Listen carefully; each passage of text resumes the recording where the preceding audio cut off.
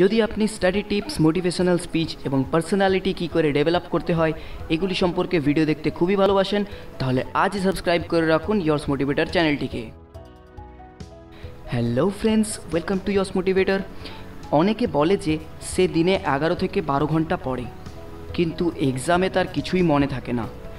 আমরা অনেক সময় এটা শুনে থাকি যে to smart work not hard work তাই আজ আমি আপনাদের সাথে দশটি টিপস শেয়ার করতে চলেছি যা আপনাকে সাহায্য করবে পড়া হয়ে যাওয়া জিনিস কীভাবে মনে রাখবেন সেটি সম্বন্ধে। ভিডিওটি শুরু হওয়ার আগে আমি আপনাদেরকে এটাই বলতে চাই যে প্লিজ পুরো ভিডিওটি দেখবেন, কেননা আমার প্রত্যেকটি টিপস একটি অপরটির সাথে রিলেটেড তাই চলুন ফ্রেন্ডস এবার দেরি না করে শুরু করা যাক। First tip thirty percent reading and seventy percent reciting এর অর্থ হলো কোনো টপিককে রেডি করবার জন্য থার্টি পার্সেন্ট পড়ুন এবং সেভেন্টি পার্সেন্ট নিজেকে বোঝান। কারণ এটা বলা হয় যে, পৃথিবীর বেস্ট টিচার আপনি নিজেই। তাই যদি কোনো টপিক রেডি করার জন্য আপনার কাছে এক ঘণ্টা থাকে, তাহলে তার থেকে টোয়েন্টি মিনিট সময় খরচ করুন টপিকটি পড়বার জন্য এবং বাকি ফর্টি মিনিট সময় খরচ করুন নিজেকে সেটা বোঝানোর জন্য। আপনি এক্ষেত্রে নিজেকে নিজে প্রশিক্ষণ দেবেন, যা আপনাকে ভেতর থেকে গ্রো করতে সাহায্য করবে। এবং এই জিনিসটি আপনার খুবই ইজিলি মনে থাকবে। সেকেন্ডটি ভিজুয়ালাইজেশন আমি যখন ক্লাস থ্রিতে ছিলাম, তখন আমি একটি বন্ধুর টিফিন ফেলে দিয়েছিলাম। এবার আপনি বলবেন যে, আমি এটা আবার কি বলছি? অ্যাকচুয়ালি ওই জিনিসটা একটি ইমেজ হয়ে আমার মেমোরিতে সেভ হয়ে গিয়েছে, যা আমি চাইলেও ভুলতে পারব না। সায়েন্টিস্টরা বলেন যে, আমাদের ব্রেন ওয়ার্ডসের থেকে কোনো ইমেজকে বেশি স্টোর রাখতে পারে। তাই যদি আপনি কোনো থিওরি সাবজেক্ট পড়ছেন, তাহলে সেই থিওরিটির প্রত্যেকটি টপিককে পিকচারে কনভার্ট করে নিন। এর ফলে আপনি এক্সামে সেই টপিকটিকে ইজিলি মনে করতে পারবেন। থার্ড নম্বরটি মেমোরি টেকনিক যদি আপনার কোনো টপিকের পয়েন্টগুলো মনে রাখতে প্রবলেম হয়, তাহলে এই টেকনিক আপনারই জন্য। এখানে আপনাকে শুধু এটাই করতে হবে যে, সেই পয়েন্টসগুলির ফার্স্ট অ্যালফাবেটগুলি দিয়ে একটি ওয়ার্ডস তৈরি করে নিতে হবে। এক্সাম্পল হিসেবে বলি, যদি ধরুন আপনাকে এই চারটি পয়েন্ট মনে রাখতে হবে, যেমন evaluate review combine analysis so এখানে সবারকার ফার্স্ট অ্যালফাবেটগুলি নিয়ে আমরা একটি ওয়ার্ড বানাতে চলেছি, যেমন ধরুন রেস সো এই রেসকে মনে রাখলে আপনার এই চারটি ওয়ার্ডসও মনে থেকে যাবে। ফলে আপনি আপনার পড়ার পয়েন্টসগুলিকেও যদি ঠিক এইভাবে মনে রাখেন, তাহলে পরীক্ষার হলে আপনি এটাকে ভুলবেন না। ফোর্থ টিপ ডিসকাশন যদি আপনি কোনো পার্টিকুলার সাবজেক্টকে অতটা গুরুত্ব দিচ্ছেন না এবং সেটি হয়তো আপনার পড়তে ভালো লাগে না, তাহলে আপনি আপনার তিন থেকে চারজন বন্ধুদের সাথে একটি স্টাডি গ্রুপ বানিয়ে নিন এবং সেখানে সেই সাবজেক্টটি নিয়েই আলোচনা করুন। ডিসকাশন করলে আমাদের বোরিং থেকে বোরিং সাবজেক্টও ভালো লাগা শুরু হয়ে যায়। আপনি আপনার এই গ্রুপ স্টাডির শিডিউল সেই সময় করুন যখন আপনার পড়তে বোরিং লাগে।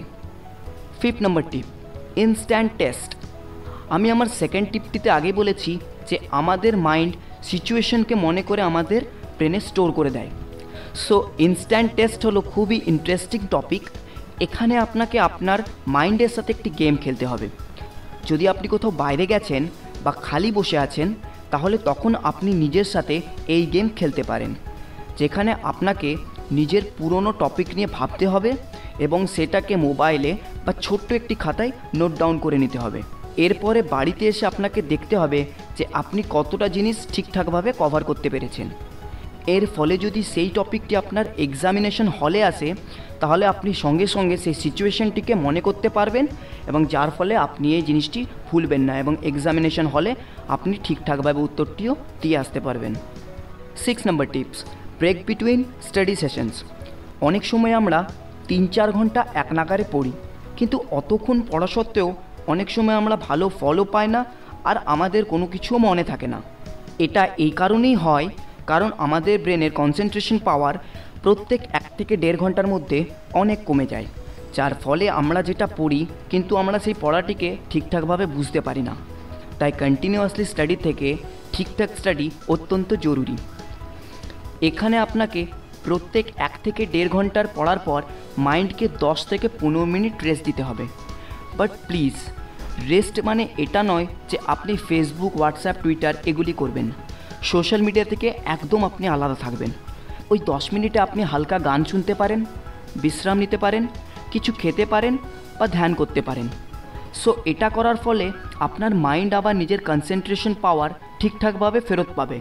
এবং তারপর আবার পড়া শুরু করলে আপনি মনোযোগ সহকারে সেই পড়াটি করতে পারবেন। Tip number seven confidence attitude অনেক সময় এটা দেখা যায় যে আমরা পরীক্ষার হলে সব কিছু গুলিয়ে ফেলি। কিন্তু যে টপার হয়, সে কিন্তু সব কিছু ভুলে না। কি করে এটা হয়? তাহলে সে কি আমাদের চেয়ে বেশি বুদ্ধিমান? উত্তরটি হলো না, সে নয়।